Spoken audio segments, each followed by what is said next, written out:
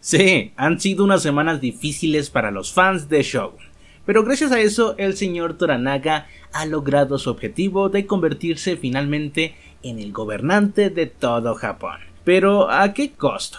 Perdió un hijo, un hermano traidor, a un amigo de toda la vida y por si fuera poco a Mariko, quien junto con el engine fueron sus caballos vencedores. A este ritmo pareciera que Toranaga gobernará un cementerio, pero la guerra aún está lejos de terminar. El episodio 10 da finalmente conclusión a todo lo construido hasta este momento, revelando de una vez por todas el destino del Japón feudal. Así que acompáñame a desvelar todo lo que pasó al final y tratemos de profundizar en su significado. Por supuesto, habrá spoilers.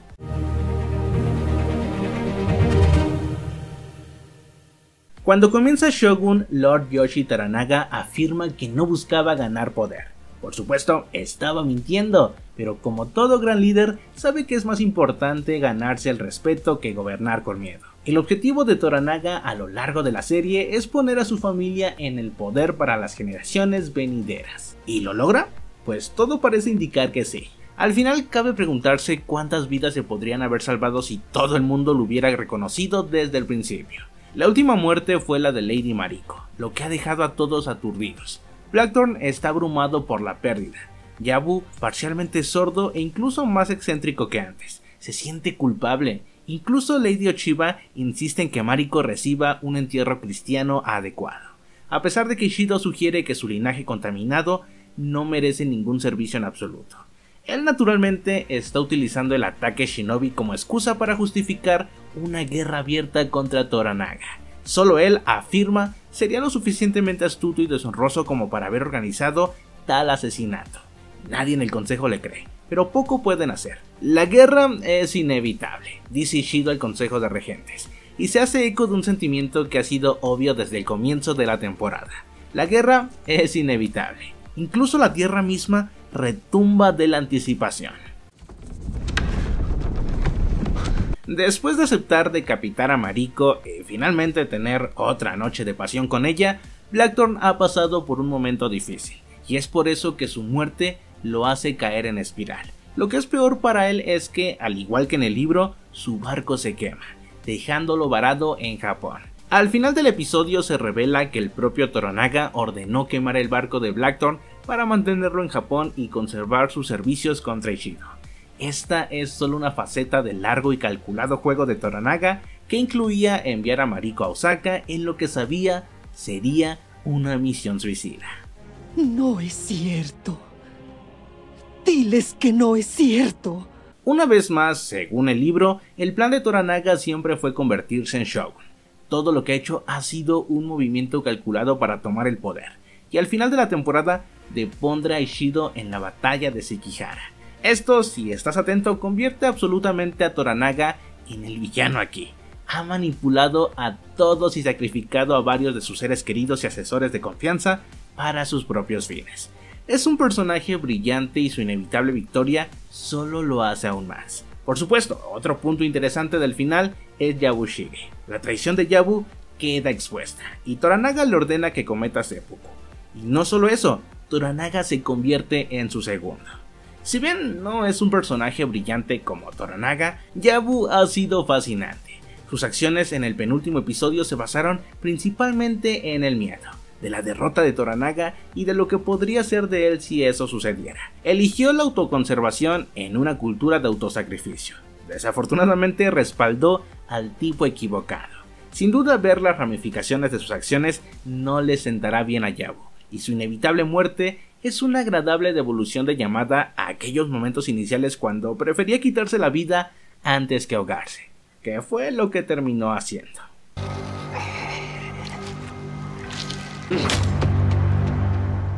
Al final vemos cómo Toranaga ordena quemar el barco de la Jin manteniéndolo en Japón.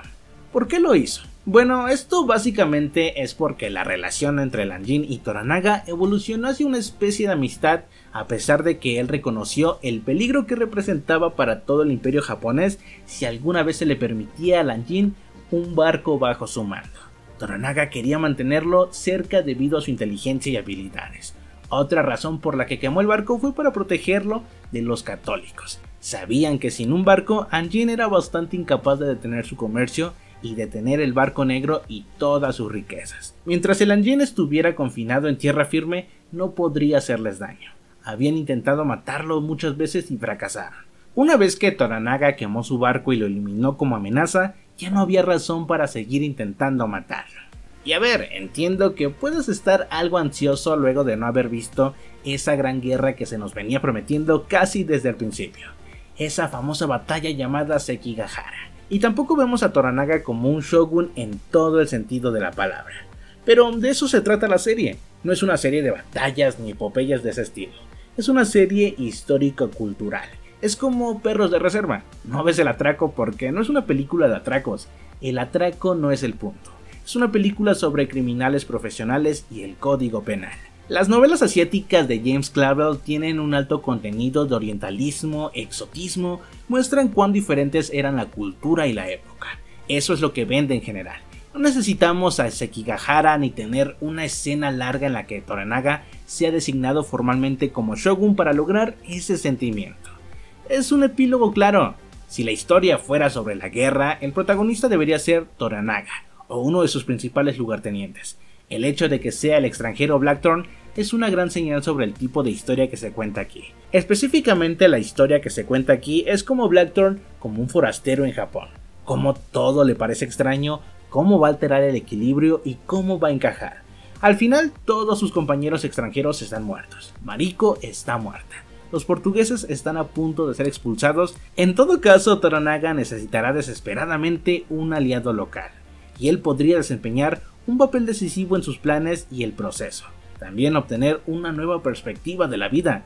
No cambias tanto el entorno como el entorno te cambia a ti. Esa es la historia que se cuenta aquí. Y no vemos a Sekigahara, una ceremonia de Shogun, porque ya llegamos al final orgánico de la historia específica.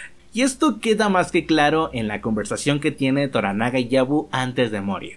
Después de decirle finalmente a Omi que lo ve como el hijo que nunca tuvo, Yabu se sienta junto a Toranaga en lo alto de un acantilado y escucha su confesión. Fue él quien quemó el barco de Blackthorn, fue Toranaga quien aprobó el trato de Mariko con la iglesia para perdonarle la vida a Blackthorn, y fue finalmente Toranaga quien envió a Mariko a Osaka sabiendo que su sacrificio inspiraría a Lady Ochiba a volverse contra Ishido. A través de un mensaje secreto, Ochiba le ha prometido a Toranaga que mantendrá al ejército del heredero fuera de la próxima batalla de Sekigahara.